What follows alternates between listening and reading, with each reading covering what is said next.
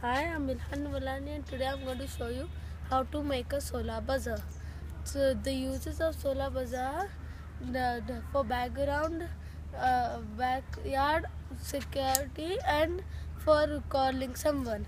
Now, also, now the components you use for it are one 2 volt small solar, one buzzer and one and one mini switch.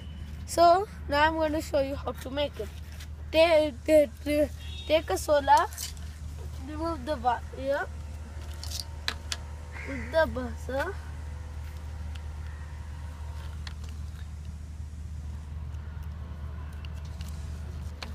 Take down and one switch also.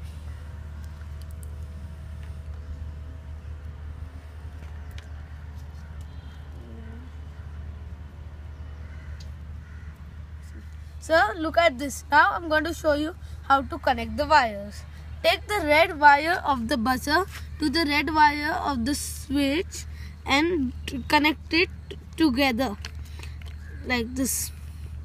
Then take the blue wire of the solar to the black wire of the buzzer and connect it together.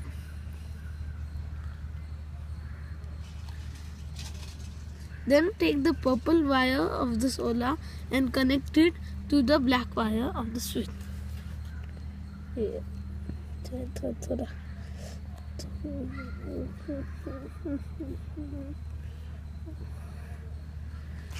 Now it is ready. So now let us go in the sun and check it out if it's working. Let's see. When I on the switch, it works.